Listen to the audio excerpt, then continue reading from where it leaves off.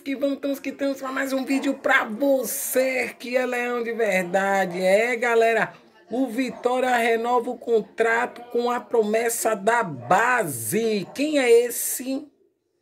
Então vamos que vamos, estamos que estamos. Curta, assista e compartilha. O Vitória renova a contratação do atacante Alisson Santos, o jogador de 21 anos que estava emprestado ao Figueira. Agora tem vínculo com o Leão até fevereiro de 2028. O atleta foi repassado pelo rubro-negro braiano ao União de Leiria de Portugal, que pagou um milhão pelo empréstimo do jogador a opção da compra com passe fixado no valor de 750 mil euros.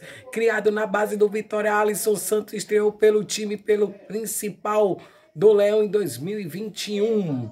Desde então fez 44 partidas pela equipe e marcou dois gols. Em 2023 foi emprestado para o Náutico e na atual temporada fez 23 gols pelo Figueirense.